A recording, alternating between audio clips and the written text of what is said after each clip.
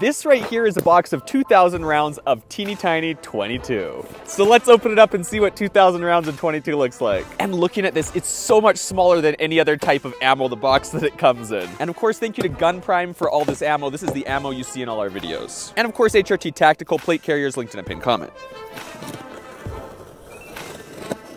Take a look at this. They literally come in little milk cartons. This is the perfect amount of ammo you could blow through with a day on the range. And check this out. Got ammo?